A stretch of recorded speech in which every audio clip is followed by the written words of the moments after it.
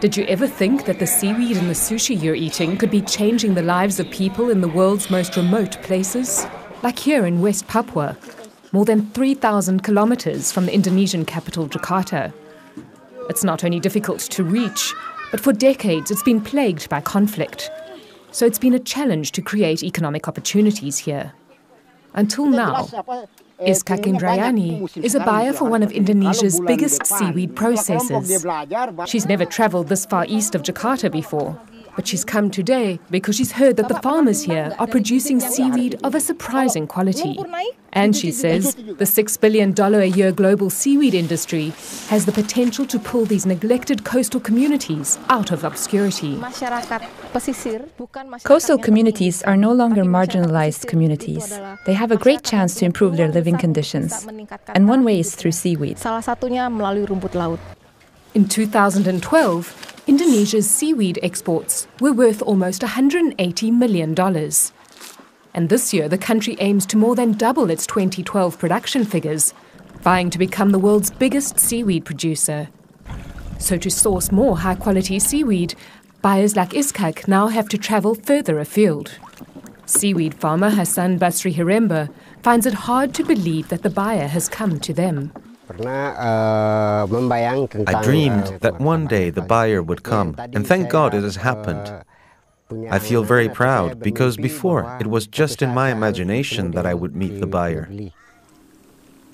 One reason for Basri's surprise is that just three years ago, the people in this village knew nothing at all about seaweed.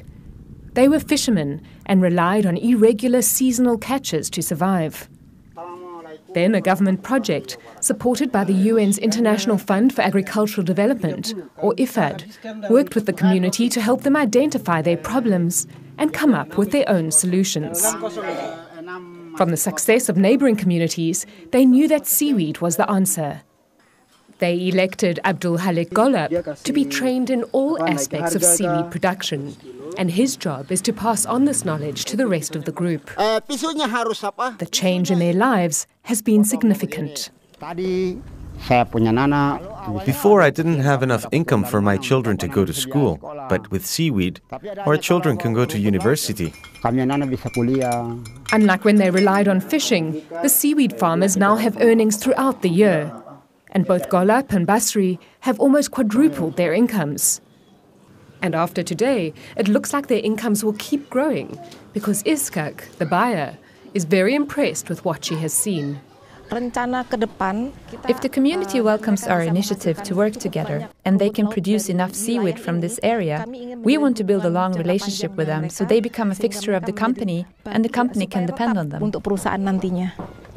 and it looks like the community will certainly welcome this initiative. When the company has a direct collaboration with us, we can change the face of this village. We can build better houses. We can expand our planting areas to grow more. In fact, Basri is so convinced about the future of seaweed that he is already involving his whole family in the business. I'm hoping that if I teach my children about the planting of the seaweed, they can pass it on to their children. That's my goal. And with the next generation already learning the ropes, seaweed can become a sustainable business here, giving young people a good reason to remain in this remote village and help Indonesia reach its goal to become the world's biggest seaweed producer.